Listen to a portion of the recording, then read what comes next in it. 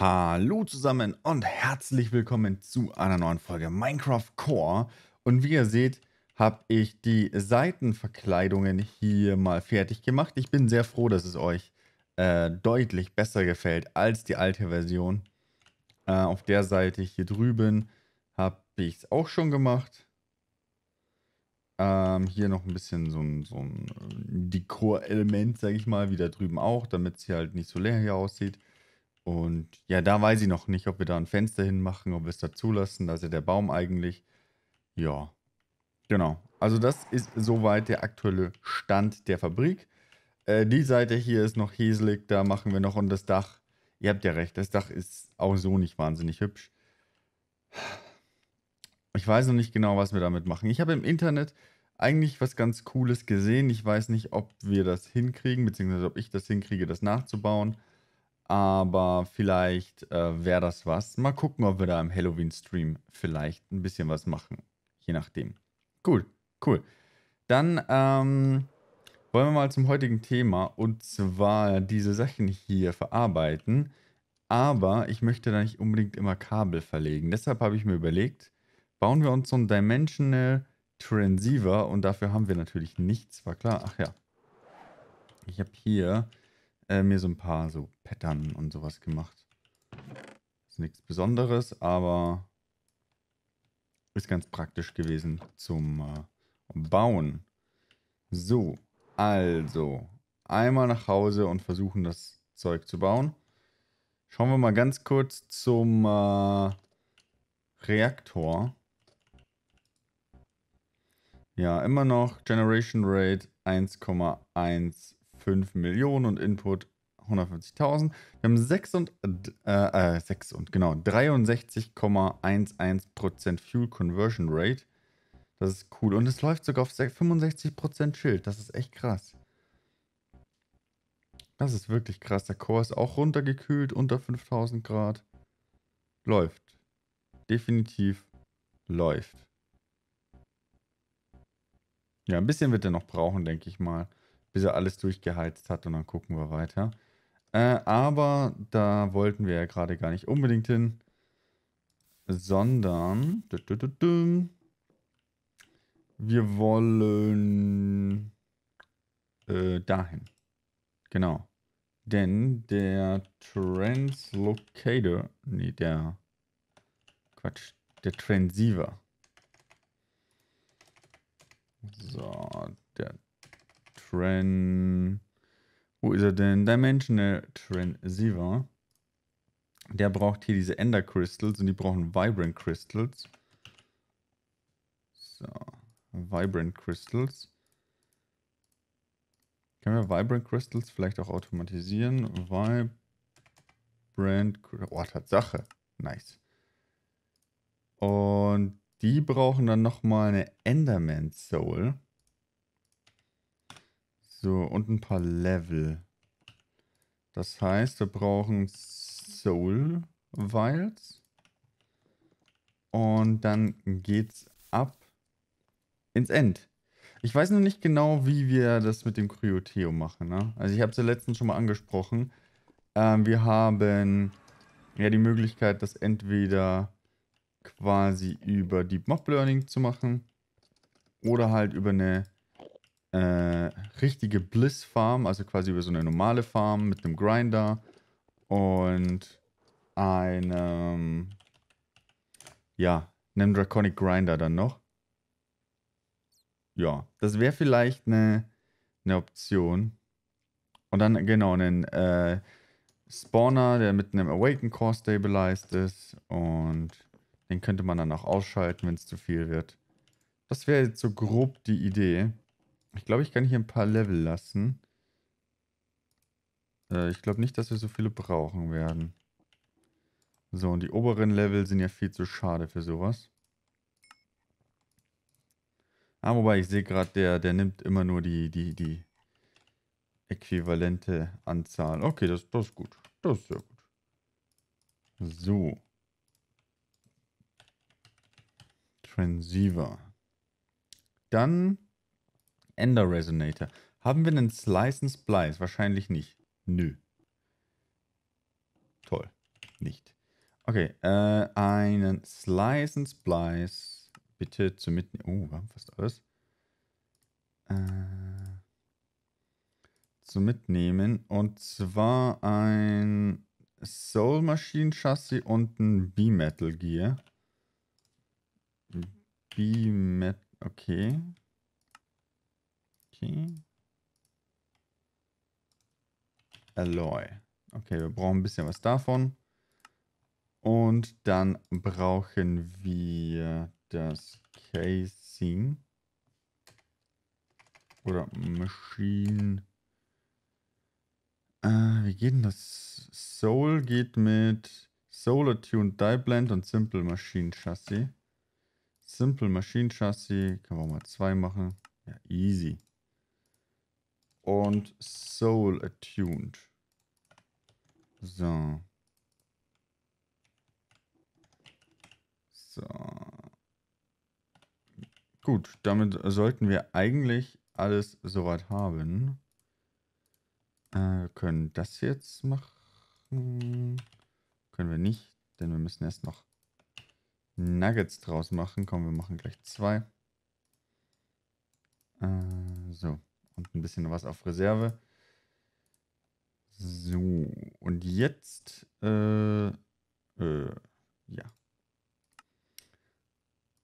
Sind die Gitter aus. Jetzt aber. So, und jetzt noch ein anderer Kopf.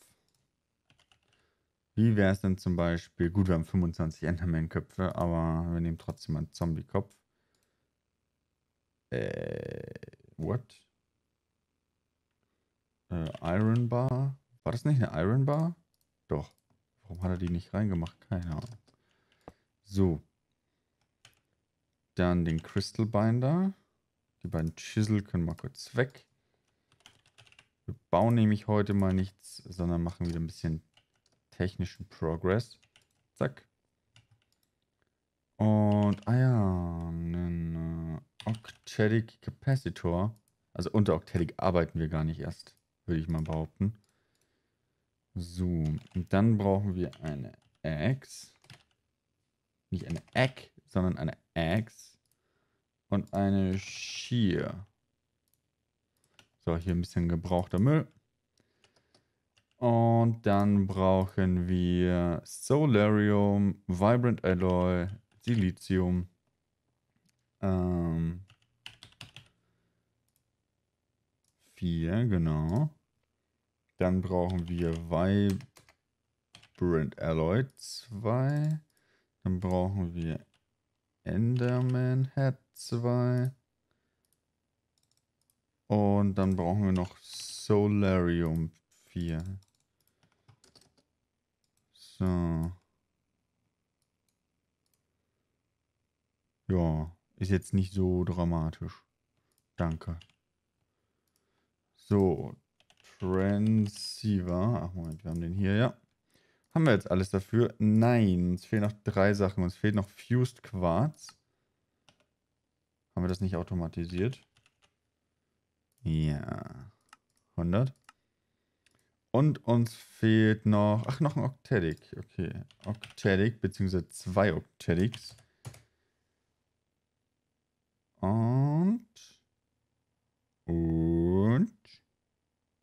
Jawohl.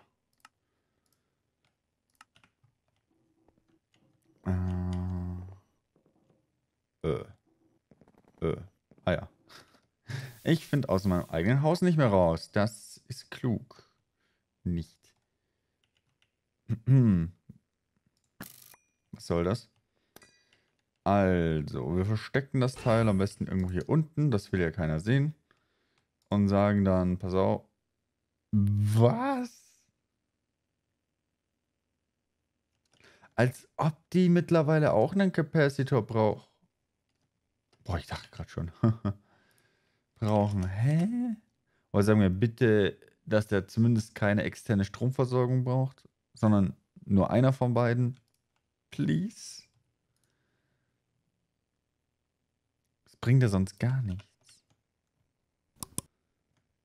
Oh, immer wird alles genervt. So. das da rein.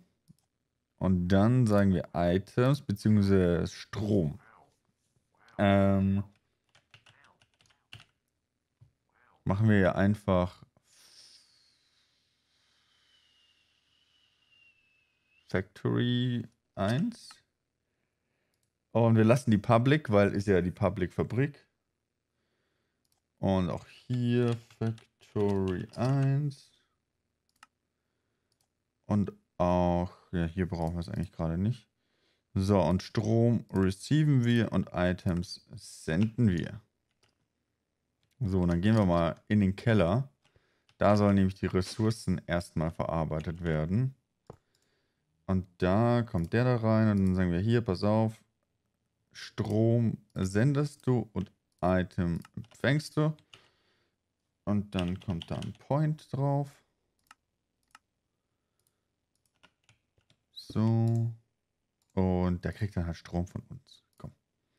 Was soll der Geiz? Jo.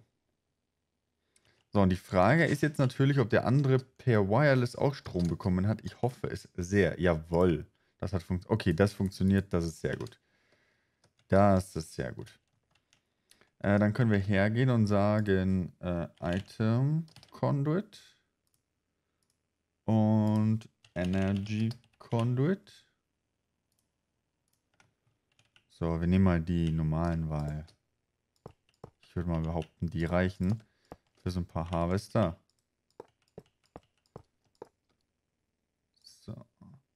So, der sollte jetzt theoretisch, genau, das hier alles wegernten. Das habe ich erwartet sogar. So, und dann...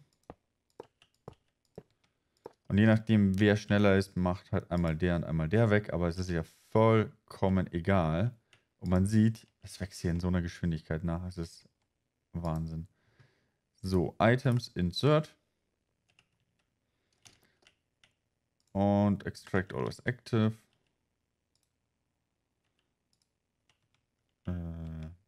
Ähm.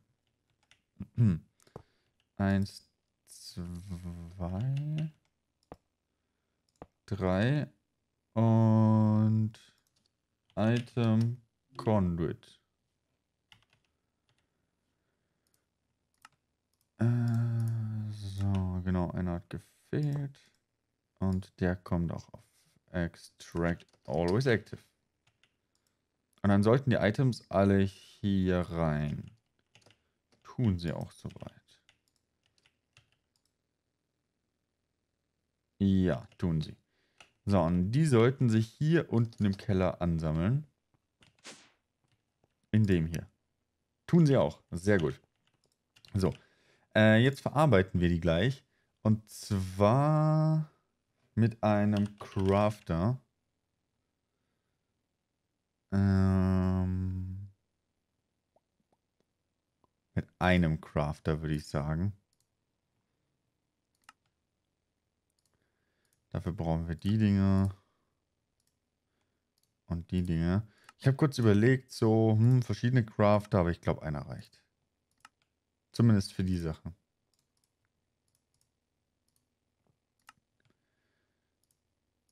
So, wenn wir natürlich dann noch mehr Ressourcen irgendwann brauchen, dann ist wieder was anderes. So, wir haben jetzt Enderium, Elektrum, Copper, Silver, Redstone und Netherquarz. Und ja, ich habe in den Kommentaren gelesen, ja, ich hätte mir auch Signalum-Pflanzen machen können. Ja, okay, habe ich verkackt. Andererseits brauchen wir äh, Silber ja sowieso, glaube ich, für mehrere äh, Rezepte, von dem her passt das schon. So. Kann sich jeder so einen Block hier... Nee, nee, auf keinen Fall. Auf keinen Fall. Jeder kriegt zwei. Zwei, zwei, zwei, zwei, zwei, zwei. Ja, okay, der kriegt drei. Damit es aufgeht. Remember. So. Äh, ah. Okay. Enderium. Copper. Äh, Redstone. Ja. Elektrum. Silver. Ich habe irgendwie nicht erwartet, dass wir da mehr als 1 pro rauskriegen, aber das ist schon krass teilweise hier, wie viel Ingots wir da bekommen. Und Quarz. Äh ja, wie funktioniert Quarz-Essenz? Quarz. Äh, da. Ach so. Okay. Warum auch immer. Gut. Apply. Gut, haben wir eingespeichert. Sehr gut. Die sind auch alle auf Ext. Das passt. Äh, 1, 2, 3, 4, 5, 6 verschiedene Sachen. Das heißt, wir brauchen natürlich eine Deep Storage Unit. Natürlich nicht, sondern eine Black Hole äh, Unit. Und zwar fünf Stück. Machen wir hier einen Controller dran, das Leben einfacher macht. Ah, Wäre schon besser, ne? Wäre schon besser. Dafür bräuchten wir aber noch ein Pink Slime Ingot. Das sollten wir aber hinkriegen. Wir müssen dann auch noch ein ME-System aufbauen. Und irgendwie ja, die anderen ermöglichen sich da als Owner einzutragen, ne? Da bin ich mir noch nicht ganz sicher, wie wir das machen. Äh, ah ja, ich habe hier übrigens Redstone dran gemacht, so wie einige gesagt haben, aber ich habe nicht das Gefühl, dass es schneller geht. Ich glaube, der war auch so an. Und falls ihr meint, weil sich der Propeller nicht dreht, der dreht sich mittlerweile nicht mehr. Das war mal so, aber das ist nicht mehr so. So, Pink Slime. Der Pinky und der Slime, Slime, Slime.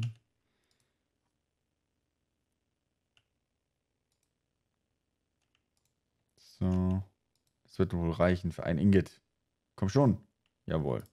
Gut. Mehr brauchen wir nicht. Dann nehmen wir einen Controller. Einfach nur, wenn wir den Controller nicht nehmen, dann brauchen wir für jedes einzelne Teil einen, ähm, einen Storage Bus. Und das ist ja unnötig. Das ist richtig unnötig. So. Ähm, Black Hole Controller, der ist dann da. Und dann kommen hier die Black Holes hin. So, zack, zack. Zack, zack, zack. Ich weiß auch nicht, ob die anderen die Fabrik so zum, Produ zum Grundlagen produzieren benutzen oder ob die die zu Hause produzieren, aber ich würde schon sagen, dass wir die, die auch für die Grundlagenproduktion benutzen. So, Item, Conduit und Energy Conduit. Dann würde sagen, wir brauchen ja keinen Plug drauf machen, wenn der direkt da in der Nähe ist. Also das wäre das wär lächerlich. Andererseits habe ich gerade irgendwie das Gefühl... Okay, machen wir anders. Insert. Ich, ich, ich verstehe das Problem. Ähm, so. Jetzt kriegt der Strom und der kriegt Strom. Jawohl. So. Mm, ja. Silver, Enderium, Redstone, Nether Quarz, Copper, Elektrum. So, eins, zwei, drei, vier. Warte mal. Elektrum, Copper, Netherquarz. Ja, habe ich irgendwie eins zu wenig gemacht? Eins, zwei, drei, vier, fünf. Tatsächlich. Schande. Schande über mich. Ah, sollte aber relativ schnell gehen. Die sind hier nicht so teuer wie ein Enigmatica. Bei weitem nicht. Deshalb können wir die auch easy hier für alles benutzen. So, und dann hier nochmal ein Item Conduit und der zieht hier alles raus und packt hier alles rein. Und hier auch nochmal ein Item Conduit. Das zieht hier alles raus und packt hier alles rein. Und er produziert das und das geht dann darüber und das geht dann hier rein und dann haben wir es. Perfekt.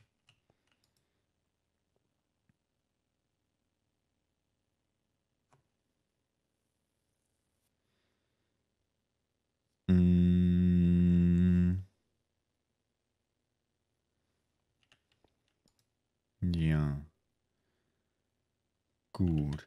Das ME-System würde ich erstmal noch nicht direkt bauen. Oder? Ah, ich weiß es nicht. Äh, ich muss mal gucken. Ich will jetzt nicht zu äh, viel auch vorwegnehmen. Weil wir eigentlich nochmal eine gemeinsame Folge machen wollen, in der wir uns dann halt anständig abstimmen können. Deshalb müssen wir mal gucken. Extract Speed Upgrade. Wir machen hier einfach überall 15 rein, weil es einfach egal ist. Weil es einfach nur egal ist. So, wir haben ja genug. Äh, geht das hier schnell genug raus? Ah, hier reicht es aber ohne Extraction Speed Upgrades, kriegen aber trotzdem vier Stück pro Gerät. So. So, soweit, so gut, ne? Dann äh, wird hier eine Menge Zeug produziert. Flup. Dimensional Transceiver. Ja, Fertilized Essence. Das ist vielleicht noch... Das ist eigentlich echt unnötig, ne? Wenn man mal ehrlich ist. Wenn wir ehrlich sind, ist das echt unnötig. Ähm... Also, so richtig unnötig. Okay, das ist vielleicht ein bisschen unnötig riskant. Ich stelle ihn einfach mal vorerst einfach mal in die Wand. Hier, das kann er gleich löschen. Und dann nehmen wir ein Item Conduit. Wir können nochmal Fertilized Essence. Wir können doch mal schauen, ob wir irgendwas Sinnvolles draus machen kann. Ja. Mhm. Fertilizer. Fertilization Core. Ja. Fast nichts. Ich würde es mal wegwerfen. Falls jemand braucht, kann das sicher dann rausnehmen. Äh, aber wir sollten definitiv einen Filter einbauen, sonst werfen wir nämlich alles weg. Und das wäre doof. So, hier, zack, Fertilized Essence, always active und tschüss. And ne, it's gone. So, äh, always on löscht nur Flüssigkeiten erstmal. Das geht da rein, das geht da rein. Und wie viel haben wir schon? Wir haben jetzt in der kurzen Zeit 100 Silber, 512 Redstone, 148 Elektrum, 144 Copper, 348 Netherquarz und 50 Inderium produziert. Alles klar. Ja gut. Das ist äh, gar nicht mal so übel. Nur die Verarbeitung selbst also quasi die Maschinen hier. Die würde ich dann hier oben irgendwie hinbauen. Wir stellen die mal random kurz hier hin. Einfach nur um den Platz schon mal zu reservieren. Ich weiß nämlich noch nicht genau, wie wir die aufbauen. Aber ich denke mal, wenn die hier so an der Seite stehen, dann ist das schon ganz okay. Die sehen halt echt niedlich aus, ne? Die Maschinen hier. Das hier ist so die Halle und da sind so die, die süßen Maschinchen. das ist so lächerlich, aber egal. Ähm, genau, da kommt noch ein Capacitor rein und so weiter. Ist alles noch nicht angeschlossen. Schauen wir uns nochmal das Cryotheum-Rezept an. Also das äh, Rezept für die Dinger. So, also hier hat man mir gesagt, ich brauche kein Quarz. Ich war der Meinung, man kann auch Fused Glas nehmen. Ja, äh, Fused Quarz. Okay, man kann auch Fused Quarz nehmen. Und das wird aus Quarz hergestellt. Okay, alles gut. Puh. Da habe ich schon äh, leichte Angst gehabt, aber alles cool. Was man natürlich machen kann, hier oben, theoretisch. Also rein theoretisch.